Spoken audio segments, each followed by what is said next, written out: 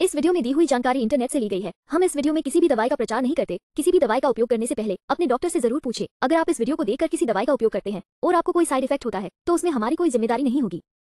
A S I T I S nutrition atom beginners whey protein powder विविध fitness लक्ष्यों वाले शुरुआती लोगों को एटम बिगिनर्स वे से लाभ होगा, जो विशेष रूप से उन लोगों के लिए तैयार किया गया है, जिनके पास शक्ति प्रशिक्षण का बहुत कम या कोई पूर्व अनुभव नहीं है। वे प्रोटीन व्यायाम के बाद संभावित एनाबॉलिक प्रतिक्रिया उत्पन्न करने के लिए प्लाज्मा और इंटमस्क्यूलर ल्यूसिन को काफ़ी बढ़ाता है। कार्ब्स इंसुलिन के माध्यम से अंतरकोशिकीय सिग्नलिंग की सुविधा प्रदान करते हैं और मांसपेशियों की कोशिकाओं की ऊर्जा स्थिति को बढ़ाते हैं। कार्ब्स अधिक अनुकूल शुद्ध मांसपेशी प्रोटीन संतुलन के लिए पोषक तत्वों का अनुकूलन करते हैं। पूरक 100 प्रतिशत प्रामाणिक है जीएमपी प्रमाणित इकाई में निर्मित है और शुद्धता और शक्ति के आश्वासन के लिए तृतीय पक्ष प्रयोगशाला परीक्षण किया गया है।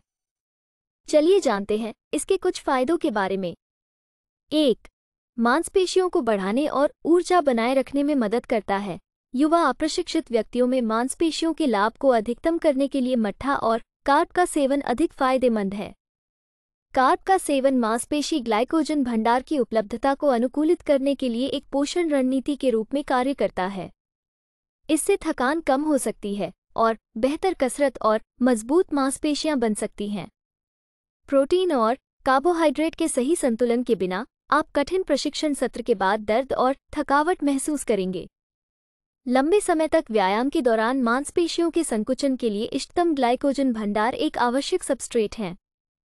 दो, मांसपेशियों में प्रोटीन के टूटने को कम करता है। व्यायाम और प्रोटीन अनुपूरण के लिए कंकाल की मांसपेशियों की प्रतिक्रियाएँ प्रशिक्षित और अप्रशिक्षित व्यक्तियों के बीच भिन्न होती हैं।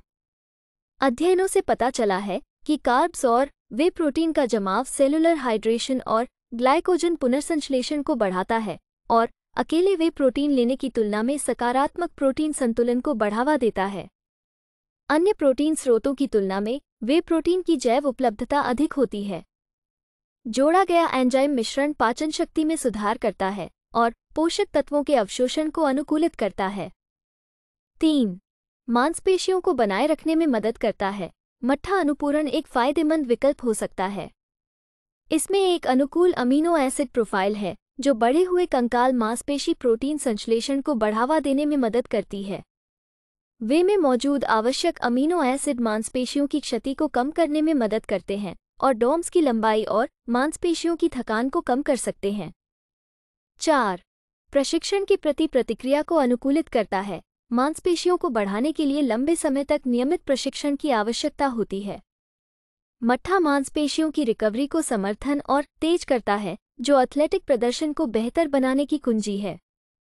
प्रशिक्षण के बाद पूरक का सेवन मांसपेशियों के कार्य को बहाल करने में मदद करता है।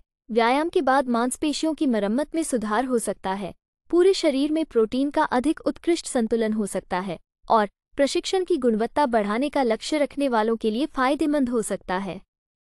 पाँच, शरीर की ताकत बढ़ाता है।